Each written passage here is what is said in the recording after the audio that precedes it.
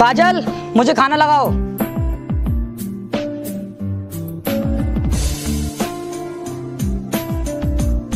सुनो चाचा जी मुझे भी बहुत भूख लगी है मुझे भी खाना लगवा दो। उनके आने की देर नहीं हुई और आते ही खाना लगवा दो खाना लगवा दो कहने लगे। मतलब पूरा दिन तुम्हारा पेट नहीं भरता है क्या? इसकी माँ तो मर गई हमारी छाती पे छोड़ गई हमारा खून पीने के लिए। न जाने से कब छुटकारा मिलेगा। मम्मी मुझे भूख लगी है दूध पीना है। अरे, मेरे बेटे को भूख लगी है। चल ठीक तो अभी यहीं बैठ, मैं तेरे लिए दूध लेकर आ। अच्छा तुम भी खाना खा लो आके, मैंने खाना लगा दिया है।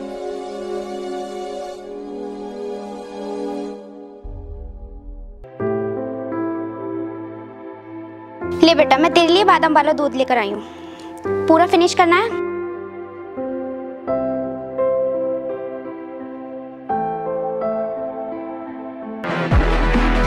मम्मी इसने मेरा सारा दूध गिरा दिया। हाँ बेटा क्या हुआ? मम्मी मम्मी इसने मेरा सारा दूध गिरा दिया। मैंने बिल्कुल भी दूध नहीं पिया था। अभी रुक इसे तो मैं अभी बताती हूँ। तो चुप बिल्कुल। मेरे बेटे। क्यों रे मनहूस? तो कब तक हमारा खून पिएगा? आज तो तेरा फैसला होकर ही रहेगा। इस घर में या तो तू रहेगा या मैं। सुनते हो जी? इधर आओ। अरे क्या हुआ? क्यों इतना चिल्ला रही हो? मैं चिल्ला रही हूँ। देखो इसने क्या किया है? सारा दूध गिरा दिया। मैंने अपने बेटे को दूध ला के दिया था उसे भूख लग रही थी और इसने उसके हाथ में से ग्लास छीन के नीचे दूध गिरा दिया। हिम्मत तो देखो इसकी। क्यों रे? क्यों गिराया तूने इसका दूध? नहीं चाचा जी मैंने इसको हाथ भी नहीं लगाया है। इसने खुद दूध गिराया है। ये झूठ बोल रहा है। अच्छा तो तू तो हमारे बेटे को झूठा भी बनाएगा। सुनो आज तो ये फैसला होकर ही रहेगा। या तो इस घर में हम माँ बेटे रहेंगे या फिर ये मनहूस। ठीक है आज मैं इसको घर से निकाल कर ही रहूँगा। चल चल। और आज के बाद इस मनु शकल को लेकर हमारे घर में मत आ जाना। चाचा जी मेरी गलती नहीं है। चाचा जी मुझे इस घर से मत निकालो। मेरा इस दुनिया में तुम्हारे बिना कोई नहीं है। आज तो मैं तेरी एक बात भी सुनने वाला नहीं हूँ। चल निकल यहाँ से।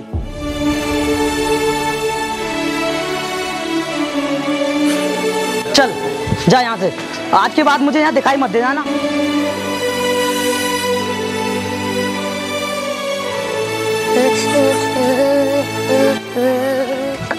ले आम ले आम। मीठा आम है, मीठा। आम तीस रुपए किलो। आम ले लो, आम। भाई साहब, आम। आम चाहिए।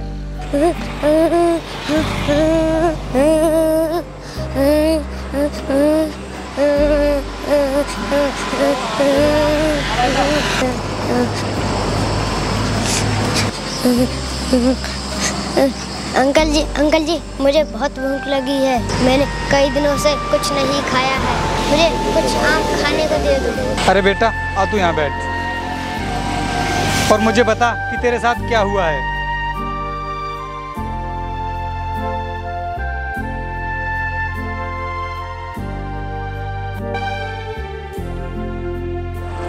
कोई बात नहीं बेटा, ले। सबसे पहले तू ये आम खा, उसके बाद हम लोग बात करते हैं, ठीक है? खा ले आम तू।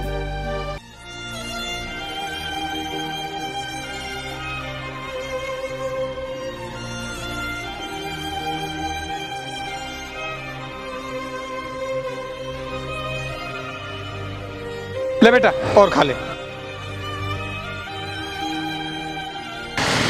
बेटा और खाया क्या? नहीं अंकल मेरा पेट भर गया। सुन बेटा इतना अमीर तो मैं भी नहीं कि तेरी अच्छी तरह परवरिश कर सकूँ।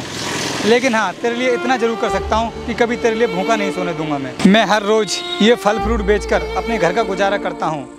और वैसे मेरे पास भी कोई औलाद नहीं है। और अगर तुम चाहो तो मेरा बेटा बन सकते हो। बोलो बेटा क्या इच्छा है तुम्हारी? ठीक है अंकल। मैं आज से आपको अपना पिताजी मानता हूँ। और मैं आपके साथ चलने के लिए तैयार हूँ। आजा बेटा अब मेरे तू गले लग जा। चल अब मैं तुझे घर लेकर चलता हूँ। ठीक है? आजा हम दोनों चलते हैं।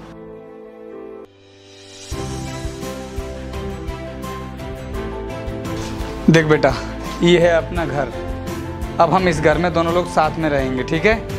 लेकिन पापा आप अकेले क्यों रहते हो?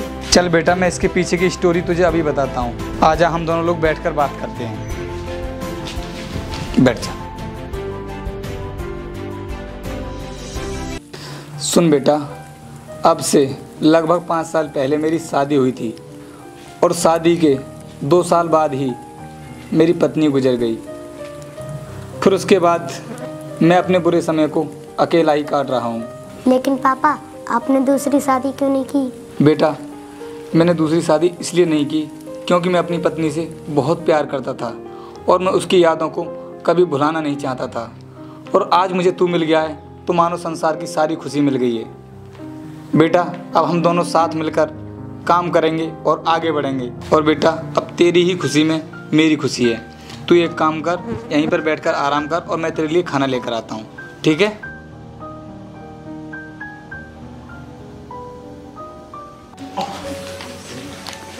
ले बेटा, खाना खिलाऊँगा तुझे। तू खाना खा और मैं तुझे खाना खिलाता हूँ।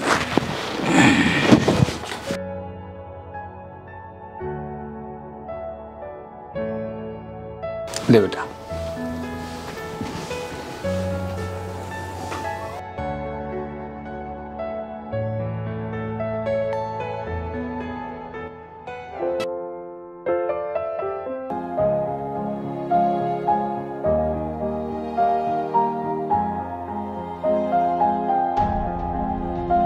देख बेटा आकाश, अब हमने सारे आम सजा दिए हैं, तू एक काम कर, ये बेच देना, मैं किसी काम से बाहर जा रहा हूँ, ठीक है? ठीक है, पापा, आप जाइए, मैं बेच दूँगा।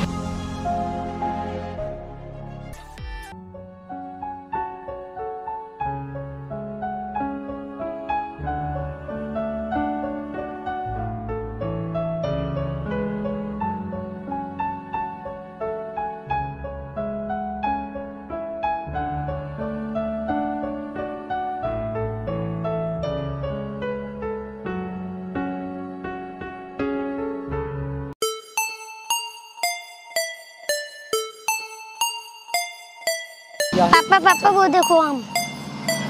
पापा मुझे आम खाने हाँ। बेटा अभी आम दिलवाता हूँ। काजल चलो बेटे को आम दिलाते हैं।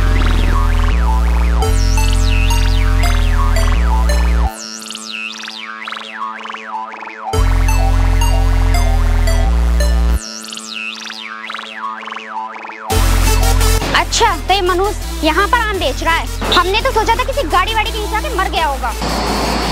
ले बेटा तू आम खा। क्योंकि हम इसे पैसे देने वाले तो हैं नहीं। और ये तो ये हम इसके आम घर को भी लेकर चलेंगे।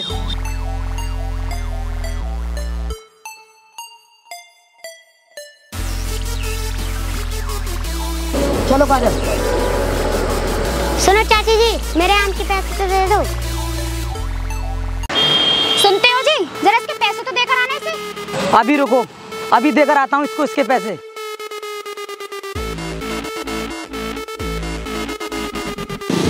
ले पैसे ले पैसे ले पैसे। हमने तुझे पाल पोस कर इतना बड़ा किया और आज तेरी इतनी हिम्मत होगी कि तू हमसे पैसे मांगेगा। और आगे से ध्यान रखना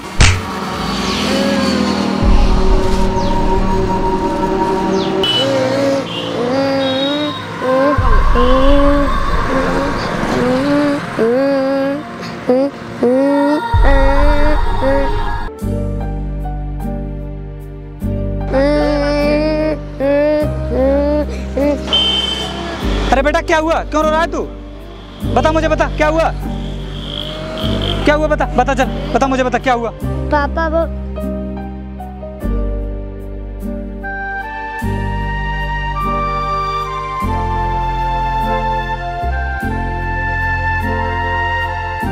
कोई बात नहीं बेटा भगवान सब देख रहा है। वो हमारा साथ ज़रूर देगा। हमें भगवान के ऊपर विश्वास रखना चाहिए क्योंकि हम गरीबों का भगवान के सिवाय कोई नहीं होता है। लेकिन कुछ चीज़ें हमारे हाथ में भी होती हैं, जिससे हम समाज में बदलाव ला सकते हैं। और वो है शिक्षा। शिक्षा के द्वारा व्यक्ति कोई भी मुकाम हासिल कर सकता है। और मैं चाहता हूँ कि अब से तू अपनी पढ़ाई पर फोकस करेगा। अब से तू स्कूल जाएगा पढ़ने के लिए, ठीक है? ठेले का काम मैं संभाल लूँगा। कल से तू अपनी पढ़ाई पर फोकस करेगा। चल जा, घर चला जा तू अब। जा। मैं बेचता हूँ अब।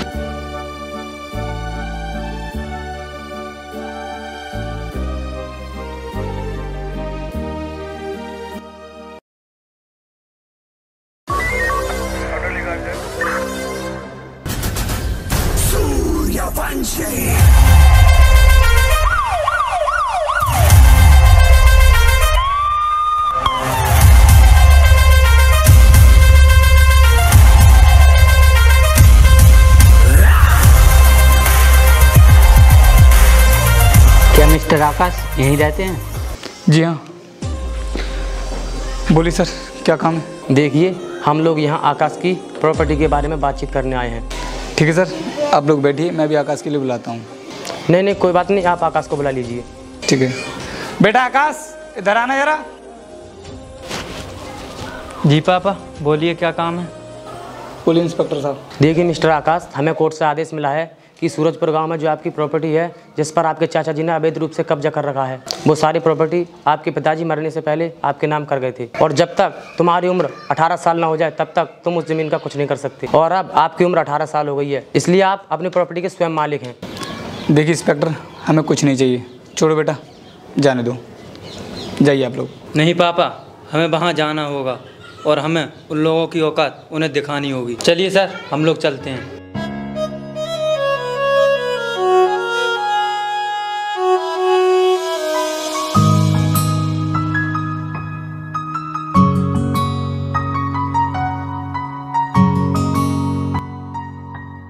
क्या मिस्टर वीर यहीं रहते हैं? हाँ वो अंदर ही है। ठीक है सर अंदर आइए।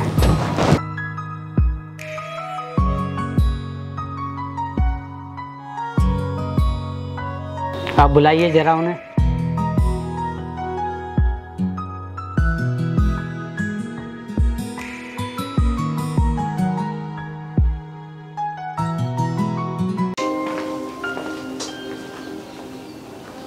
जी बोलिए सर। कौन है आप लोग? देखिए मिस्टर भीर जिस ज़मीन पर आपका कब्जा है वो सारी प्रॉपर्टी मिस्टर आकाश के नाम पर रजिस्टर्ड है। इसलिए बेहतर होगा कि इस प्रॉपर्टी को आप अभी के अभी खाली कर दें। नहीं ऑफिसर ये सारी प्रॉपर्टी मेरी है। रुको मैं दिखाता हूँ अभी। वकील साहब कागज़ दिखाइए।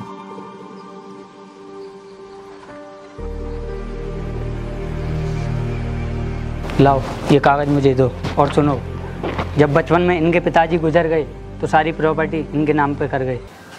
सुन बेटा आकाश, हम तो तुझसे माफ़ी मांगने के लायक भी नहीं है, क्योंकि हमने तेरे साथ इतना गलत जो किया। आज से तू अपनी प्रॉपर्टी का खुद मालिक है। हम लोग इस घर से बाहर चले जाते हैं। अच्छा बेटा, हो सके तो हमें माफ़ कर देना।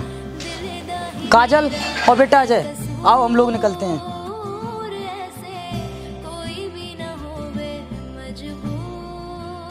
रुको आप लोग, मैं तुम्हें इस घर से निकालने नहीं आया हूँ, बल्कि मैं तुम्हें ये दिखाने आया हूँ। कि कभी किसी के साथ गलत व्यवहार न करो कि कोई मरने के लिए मजबूर हो जाए। और सुनो आज हमारे पास भगवान का दिया हुआ सब कुछ है। हमें इस प्रॉपर्टी की कोई ज़रूरत नहीं है। बेटा आकाश। जी पापा। इन्हें इस प्रॉपर्टी के कागज़ वापस कर दो। वकील साहब कागज़ दीजिए। ये लो। क्योंकि हमारा मकसद किसी को नीचे दिखाना नहीं है। पापा आप ऐसे लोगों के बारे में भी कितना अच्छा सोचते हो। जिन्होंने मेरे साथ धोखा किया हो। कोई बात नहीं बेटा। आओ बेटा हम लोग निकलते हैं। आइए। चलिए पापा।